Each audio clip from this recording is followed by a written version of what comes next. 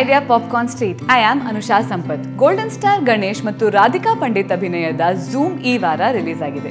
ಈ ಸಿನಿಮಾದ ಕಥೆ ಮತ್ತು ನಿರ್ದೇಶನ ಪ್ರಶಾಂತ್ ರಾಜ್. ಇದು ಮೂರು ಅಂತಾರಾಷ್ಟ್ರೀಯ ಭಾಷೆಗಳಲ್ಲಿ ಡಬ್ ಆಗಿರುವ ಮೊದಲನೆಯ ಸಿನಿಮಾ ಆಗಿದೆ.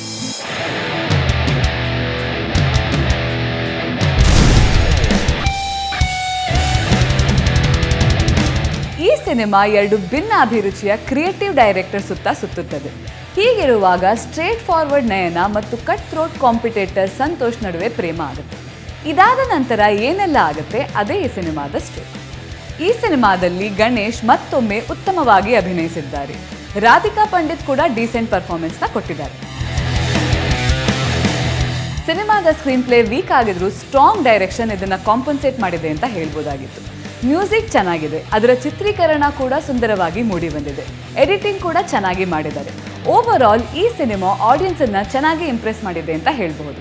ನಾವು ಈ ಸಿನಿಮಾಗೆ three out of five popcorns ಕೊಡ್ತೀವಿ. ಇದು ಝೂಮ್ ಸಿನಿಮಾ ಬಗ್ಗೆ ನಮ್ಮ ಅಭಿಪ್ರಾಯ. ನಿಮಗೆ ಈ ಸಿನಿಮಾ ಬಗ್ಗೆ ಏನನ್ಸುತ್ತೆ ಕೆಳಗೆ ಕಮೆಂಟ್ ಮಾಡಿ ನಮಗೆ ತಿಳಿಸಿ. And for more updates from Sandalwood keep visiting Idea Popcorn Street